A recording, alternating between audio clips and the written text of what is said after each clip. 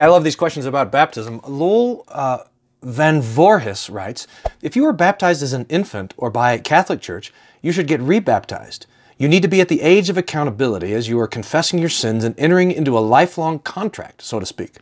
You want a clean baptism, full body, unless impossible, and be totally aware of what you are doing. And that is the process that you are born again of spirit, of the spirit, and there should be evidence of this in you and your life and behavior, although people are different, so you may not see it right away. If you would not let a child enter into a legal contract, you would not expect a kid to be held accountable also as a contract entered in by others for them. Shalom. Lowell, thank you. Uh, thank you for this uh, question, or at least I'm, I'm going to treat it as a question, if that's all right, instead of a comment. Uh, a couple of things to note. You no doubt th- know that this is the this is the doctrine of the Anabaptists coming out of the Reformation. That's what Anabaptist means. It means to baptize again, and they argued for the illegitimacy of infant baptism. We've done a little video on infant baptism. I'll put a link up there so you can uh, click on that and, and, and see that as well. But one of the main things uh, that we want to think about, I want to take up this argument that you wouldn't let a baby enter into a legal contract and that baptism is, is a legal contract. Now, I'm not sure if it holds, but I'm gonna I'm I'm gonna let it hold for a little bit and just and just suggest a couple of things to you. Uh, the first is that we actually do have legal contracts that that relate to children, even babies, and especially the legal contract of adoption, where one family becomes the legal guardians of a child. And that adoption is valid for the for the infant, even though they have no idea what's happening and they're not entering into it willingly.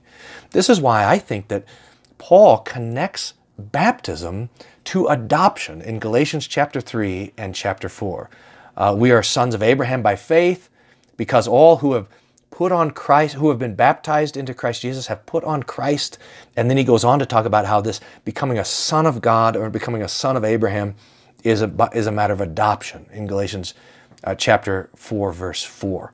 So that baptism, if you want to think of baptism like a legal contract, we can think of it as a new birth or as adoption. And adoption is valid even if the child does not sign off on it. It reminds us, just as an example, of the covenant that God made with Abraham.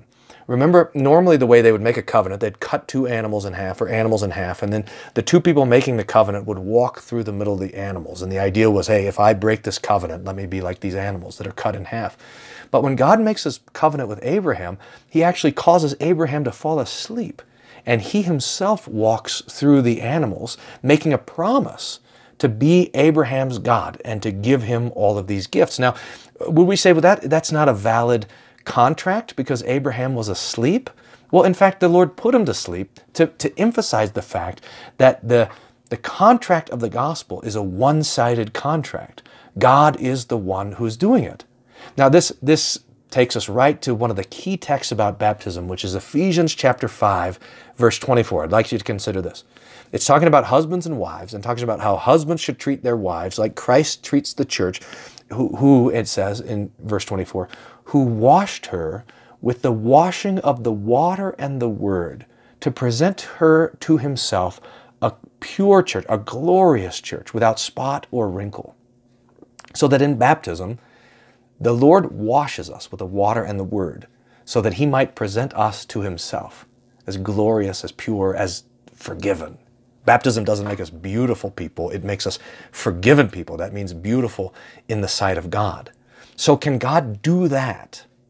Can He make a contract with a person who can't give anything back? Well, in fact, that's what salvation is.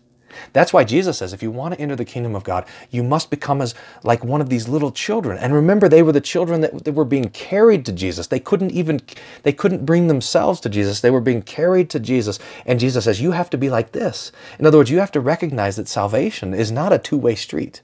Salvation is not a contract that we make with God, but rather it's a contract, it's a promise that He gives to us, that He delivers to us. And baptism delivers that promise. So, can children enter into a contract to start a business or to, to, to buy a piece of property or go to war? No, they can't do that. But can children receive the gift of adoption? Can children be the benefits of legal contracts? Can, can children receive gifts? Yeah. I mean, it's really all they're good for. but when we become children of God, this is what this is what we're saying, is that we're standing as the recipients of His gifts. So I, I hope this is helpful. Uh, I, I, really appreciate the, uh, the, the, comment, and I'd love to hear uh, your thoughts on, on these verses as well, especially in regards to baptism being the contract of adoption. Thanks. God's peace be with you.